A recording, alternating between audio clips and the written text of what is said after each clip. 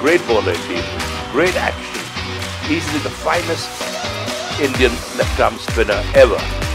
The great, great Vinu Mankar.